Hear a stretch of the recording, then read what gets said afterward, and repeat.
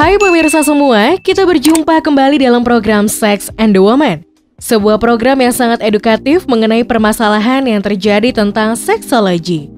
Seperti biasanya nih pemirsa, Dr. Haikal akan ditemani oleh dua teman cantiknya yang akan sharing mengenai hypersex. Hmm, cukup kaget ya pemirsa mendengar kata hypersex? Seperti apa ya keseruan mereka di episode kali ini? Jangan gonta-ganti channel pemirsa, tetap di Sex and the Woman.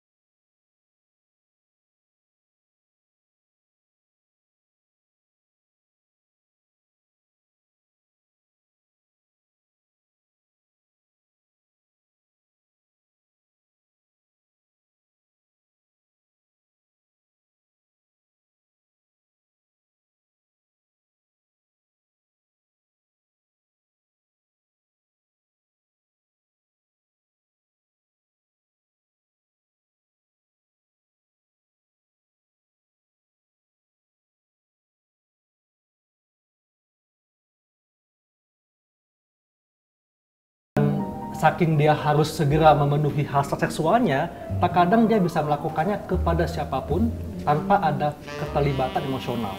Oke. Sementara orang dengan libido tinggi, ini dia masih mampu mengendalikan hasrat seksualnya dan masih santun dalam mewujudkannya.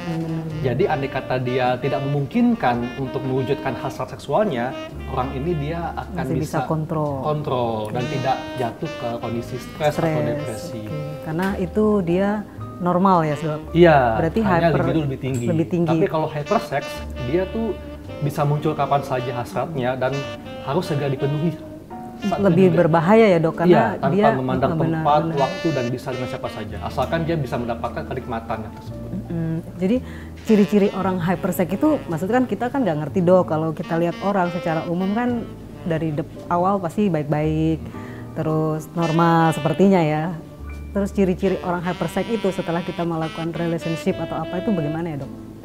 Ya, eh, sebetulnya eh, yang paling gampang dikenali adalah orang yang hypersex ini kalau dia tidak terpenuhi hasratnya, dia akan jatuh kondisi stres atau depresi. Jadi dia benar-benar ingin segera memenuhi hasrat tersebut tanpa memandang tempat dan waktu dan bisa dengan siapa saja. Jadi memang beda dengan orang yang memang tinggi libidonya. Bahaya nggak sih dok hypersex itu? Tentunya bahaya karena ini bisa merugikan orang lain dan juga dirinya sendiri dan bisa merusak suatu hubungan baik itu hubungan pertemanan ataupun hubungan eh, pernikahan dan sebagainya. Hmm, tuh Dok, lihat. kalau misalnya eh, apa sih penyebabnya seseorang itu bisa jadi hypersex? Oke.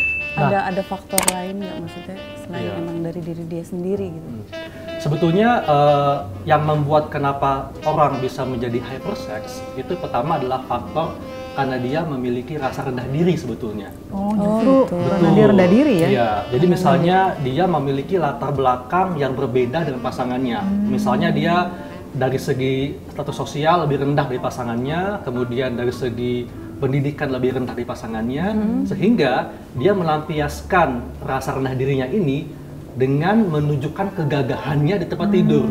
oh gitu, Gitu. Nah, sebetulnya tujuannya adalah supaya pasangannya ini tidak berpaling ke yang lain atau menghargainya. Kemudian yang kedua, eh, terobsesi dengan seks. Jadi, menjadikan seks sebagai satu-satunya cara untuk berkomunikasi, untuk menunjukkan kehebatannya, dan sebagai cara untuk melepaskan ketegangan, seperti misalnya stres karena pekerjaan dan sebagainya. Oke. Kemudian ada juga faktor hormonal seperti testosteron yang tinggi. Tapi biasanya kalau faktor hormonal ini ini tidak langsung berkaitan dengan hypersex. Hanya memang dia lebih tinggi, Lebih tinggi dorongan seksualnya. Oke. Gitu.